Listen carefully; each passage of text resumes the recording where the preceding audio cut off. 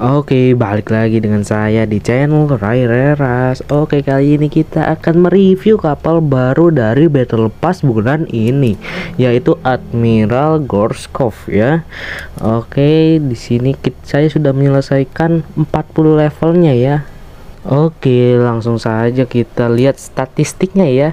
Di sini dia mempunyai zircon dengan kerusakannya setelah full up ya 31,200 ya untuk yang sebelum di upnya di sini dan yang rudal keduanya saya pakai X51 ya karena damage-nya tuh sekarang besar banget. Untuk meriamnya saya pakai Monarch untuk torpedonya pakai UGS untuk AA-nya pakai Palas. Untuk AA yang keduanya pakai bawaannya dia yaitu 9K 96 Redut dan di sini zirconnya terkunci. Oke kita ganti dulu ya helinya ya Hmm, kita ganti ke RH aja dah, Rah.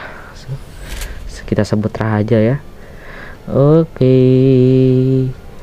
Bentukannya seperti ini ya, lumayan lah. Ini fregat ya. Oke, langsung saja kita coba di mode online ya. Oke. Kita tunggu wow, dapat map Arctic. Lumayan nih map Arctic tuh enak buat kapal-kapal kecil ya karena dia mapnya tuh kecil banyak obstacle. Ayo dong penuh dong cepet dong. Wah lama juga ya. Hmm ayo dong. Coba biar nggak terlalu panjang lah durasinya di lobby ini. Oke akhirnya udah masuk masuk ya maksudnya. Sorry sorry. Saya agak sedikit biasa lah agak sedikit. Kalau ngomong sambil main tuh agak sedikit gimana gitu. Jadi ya tahu lah kalau kalian yang streaming tau lah Oke di sini musuhnya wah 4 lawan 5 coy. Nggak adil anjir.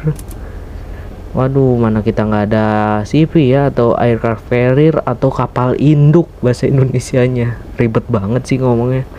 Kapal induk aja udah. Oke aduh coy di spam ditembakin heli gua. Ayo dong open coy. Ayo satu kapal ya ayo satu kapal kau open.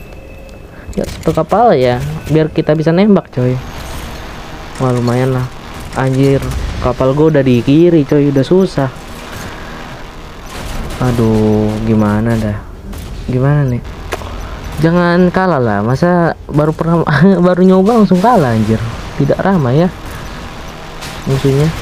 Matchnya lagi apes kita dapatnya ini lagi dapat match match apes ya alias dapat tim yang kurang bagus di, di mana kita empat orang dan musuhnya lima. Dan di satu sisi nih tim juga kayaknya kurang ya kurang mainnya kurang.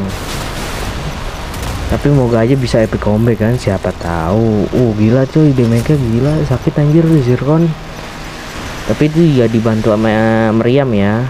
Zirconnya mah 31 ya kalau damage di in game nya sama meriamnya jadi 50 gitu combo dan X51 nya 60 berapa? 63 coy. Jadi sekali combo bisa 100 yang di mana itu untuk sebuah kapal dengan darahnya 32 dan speednya kenceng itu besar. 32 maksudnya 325.000 ya. Oke di sini ada ada pakai Admiral Guskov apa?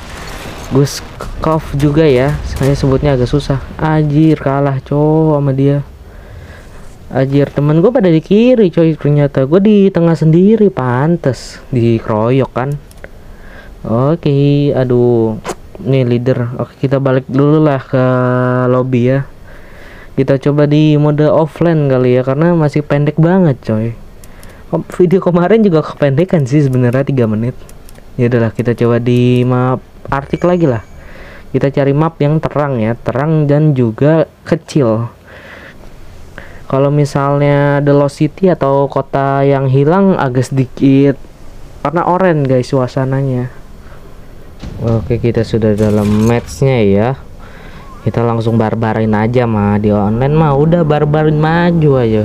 Pasti kalau di online tuh musuhnya kalau nggak spam nggak bakal sakit. Karena di online basic semua maksudnya kapalnya tuh basic kapalnya bawaan dari MW nya pas beli gitu. Nggak di, nggak di upgrade nggak di modif modif gitu botnya gitu. Kalau offline udah santai aja mainnya. Mereka cuman ya kayak ngandelin auto locknya aja sih. Kalau Meriama juga kadang-kadang ya kadang-kadang suka miss. Tapi kadang-kadang juga suka kena. Oke di sini ada Vela ya. Kita coba nih kita tembak Vela bentar kita mau lihat previewnya ya. Kita hancurin helinya wah ada hancur cok. Oke kita lihat zirkonnya ayo. Oke. Push anjir cepet banget anjir. Cok zirkonnya cepet juga ya. Meskipun zirkon nih bisa dibilang rudal tercepat kedua ya. Karena rudal tercepat pertama itu DF atau dongpeng ya. Dan jika kalian istilahnya baru tahu kalian bisa lihat di shop. Di statistik bagian kecepatan ya. Di situ kelihatan kecepatannya Zircon kalah dengan kecepatannya DF ya. DF 17 rudal balistiknya bapak, bapak si Jinping ya. Emang OP itu DF ya. Tapi ya damage nya kurang sih kalau DF oke. Okay. tapi di satu sisi dia reloadnya lebih cepet sih Oke kita kenain lagi nih ada CN94 ya. Oke kita liatin lagi zirkonnya hmm, push anjir 31 ya tuh benar seperti, seperti yang saya tadi ngomong 31 damage nya Oke ayo dong ayo dong saya yang dapat dong. Kena dong kena. Nice kena cok mantap.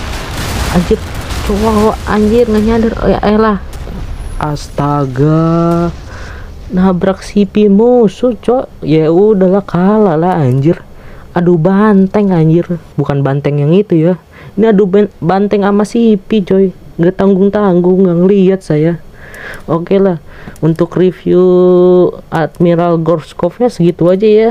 Karena videonya juga udah agak kepanjangan udah 7 menit lebih. Wah ada yang undang nih. Ntar dulu lah. Oke okay. untuk statistik yang belum di upnya bisa dilihat di sini. Oke, sampai jumpa di video berikutnya. Saya Reja Risyad. Goodbye.